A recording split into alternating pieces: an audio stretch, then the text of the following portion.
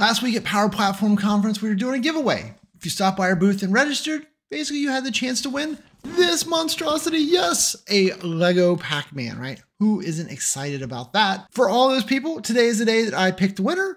And I thought for picking a winner, the best way to do that would be to pull a name out of a hat. So I grabbed the hat. Oh, I just lost some people's names. And what are we gonna pick? Look at that. We chose Buddy. Wait a minute. That's not fair. I agree, right? And so this is a problem with picking names out of hats, right? Is it's you can cheat. So let's let's put our thinking hat on, and think about how we could maybe do this better. oh, yeah, that's right. I stumped a bunch of paper on top of my hair. I'm a genius. Anyway, no. So what we're going to do is we're going to build ourselves a power app to do this, right? It takes like less than 10 minutes. Uh, we're just going to build a quick one. I'm going to show you two different ways to build it. One, if you're just doing it literally one time, or another, if you're building it so other people can do it. So if you have raffle giveaways, things like that, you can use power apps so that we know we can cheat, right? Random number generators, all that fun stuff. We're going to learn how all of that works. We're going to pick a winner and we're going to then send it off to our winner, right? Not that one though, that one's mine. I had to put that one together. Finally, we're going to send them a brand new one. But either way, let's switch over to my desktop and. Okay, so we're gonna start with a blank Power App, right? Easy peasy. And what we've got is an Excel file that just has all the data. So let's switch over to that real quick. Now this isn't the real Excel file. We're gonna use the real Excel file. We're gonna pick the real winner, but I want to show you, I can't show you all their names. And so I've made a simple Excel file here. And the key is I put this data and I turn it into a table, right? By choosing the format as table. And then if you look under table design, you'd see this is called table one. That's what I have. I just have a, spreadsheet with their first names and last names in there. To get that into my app, what we're going to do for this one, and I'm gonna show you a different way to do it later, but we're just gonna go here to data sources, and then we'll say add data, and we're gonna search for Excel. And so you can import from Excel. So if you just wanna import this one time, right? I just need to do this giveaway, I'm gonna throw this app away. Never gonna use it again, right? So now if I go find my file, it's on my desktop and it's called like MPP something, there it is, MPPC. And so it found there's just one table in there, boom, we'll hit connect under my face. Okay, so now that data set is in here. Remember, this isn't a live connection to Excel. It's just a one-time import of that Excel, but it's now in the app.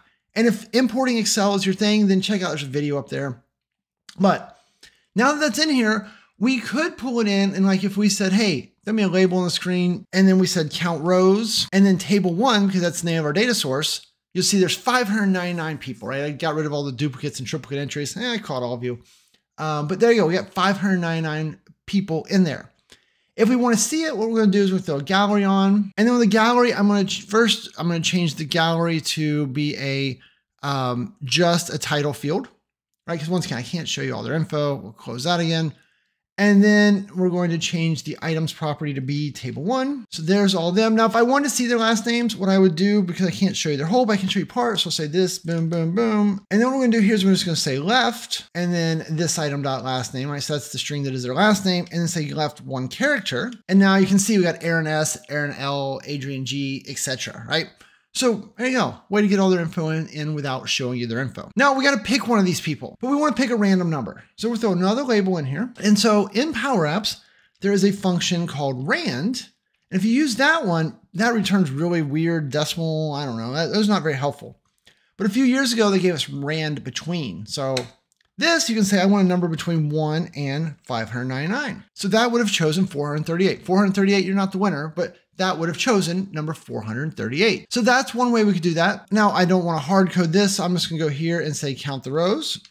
Oh, so I'll copy this whole formula. So that way my formula is not hard coded, right? So now 189 is winner. You're also not the winner. Um, I'll tell you guys when it's the winner one. We can do that. Now in Power Apps, there's also a newer function called index. So if we do index and then of a table, so in our case, table one, and then like if we do index uh, four, it should be Ahmed.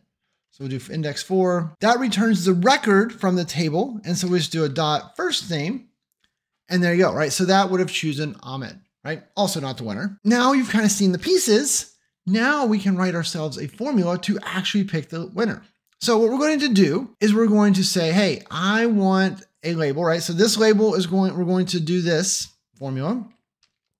And I'll explain why in just a second. So this number will be the winner. So 596 is the winner. Okay. Now, how do we find out who 596 is? We're going to insert another label. And for 596, what we're going to do is we're going to say, hey, I want you to use this whole index thing, right? So index table one, and then we're going to say, I want the output of that label, right? So this was label, this label right here is label four. Now, the reason that I am not putting, I'm just gonna do label four.text. The reason that I am not putting in there um, the formula is because we're to use it twice and it gets calculated every time you use it. So we would have a first name and last name mismatch, right? So I needed it to be in a static place. I might have put it in variable, but you know, lots of different options there. Now, if we close this, it's to error right away. If you hover, it says, hey, I'm expecting a text value. All right, so we'll do label four.text dot first name. All right, wing. And then we're going to do ampersand space, space, space, ampersand. And then we're going to do this same formula, but we're going to do last this time. But we don't want to do their whole last, right? We want to do the left of their last so we don't give away their info. So we'll say that last, comma, one. So wing C is the winner. Congrats. Yay! You get one of these. Right, here you go. You can have it. No, no, can't pass it to the camera, but we will get with you to send that to you because we have all the other contact info in there as well, but obviously I'm not show you his contact info. There you go. That's a way to choose a winner. So if you had to do this a one-time solution, right, like clearly you see the mechanics there, some different options. Now, another way that you can do this that I showed in a different video, I'll put this video up there as well, is what if you want to be able to paste, right? So you want your users not to import into Power Apps, like you want to make an app that's a little more repeatable so they can just come in here and paste data. Well, what I might do is throw a text input, and then I'm going to set its uh, display mode to multi-line. And so then now if we get rid of that, if we switch back over to the Excel, I'm going to copy all the names. Control C, switch back over, hit play. I'm going to paste those in. So now they're all in a uh, text input. That doesn't really help us because that's not table data, that's text data, right? And we know that, right? If we said uh, count rows in text input one dot text, it's like what? I don't even understand. Like it's it, it's like you're you're just doing this wrong. Okay. But what I figured out is that you can turn this from uh, text into data or into rows of data by using the split function. So what we're gonna do is we're gonna say split, and then we'll say text input one dot text. And then what do we want to split it on? This is the tricky one. It is car or char 10. Okay, that is the uh, new line break that just got put in there. Like when we pasted and all these were on separate lines, it was it was automatically putting um, the new line character in there. We just can't see it. But if we close that, now one more close, we see seven, right? One, two, three, four, five, six. And so the seventh one, right? There's a break after buddy. So then you'd always want to do this minus one because there'll always be one blank row at the end. So that would give you the six people. And so now you've got the rows and now you could, right? That's a table.